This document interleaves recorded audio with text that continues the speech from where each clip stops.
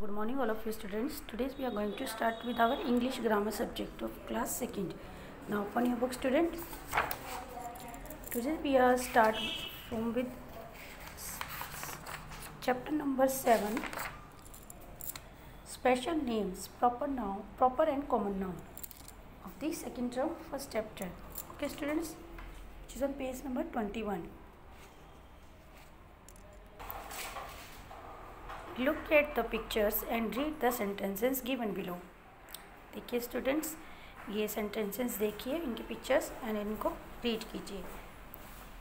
David runs fast Maria has balloons Jennifer is sleeping Maria has balloons Jennifer is sleeping John is fat in the first sentences David Maria Jennifer and John stands for a particular boy and girl, if cannot be any other boy and girl.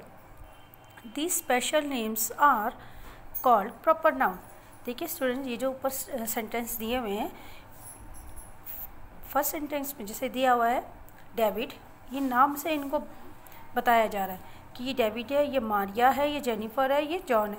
This is particular okay students ये particular boy name boy and girls के name है। और ये किसी और boy girl से change नहीं हो सकते। ठीक है स्टूडेंट्स दिस स्पेशल नेम और इन्हीं स्पेशल नेम को क्या कहते हैं? Proper noun all proper nouns begins with capital letters सभी प्रॉपर नाउन जो होते हैं, वो कैपिटल लेटर से स्टार्ट होते हैं।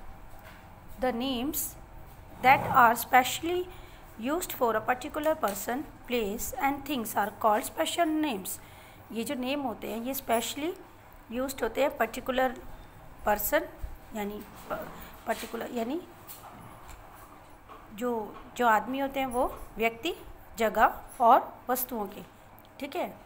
उनके जो नेम होते हैं पर्टिकुलर उनको स्पेशल नेम्स कहते हैं।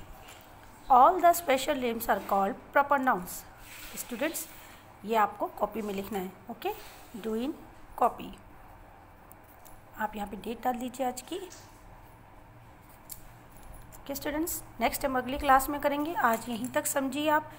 Okay, bye students, take care all of you, stay safe and stay healthy. And video को लाइक एंड चैनल को सब्सक्राइब करना ना भूले, बेल आइकन पे आपको क्लिक करना है। Okay students, remember that